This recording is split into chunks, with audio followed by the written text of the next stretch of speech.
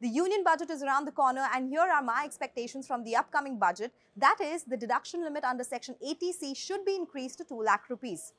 The CNBC TV 18 Budget Ballot Initiative is giving you, our viewers, a chance to share your budget hopes and ideas with us on www.cnbctv18.com slash budget and we'll take it to the FM. Select entries will be read out on the channel as well. Also, use our fun AR filter on Instagram. Head over to the filters section on our Instagram page, click your selfie and post it with the hashtag MyBudgetWishlist. Don't forget to tag CNBC TV 18 India on Instagram.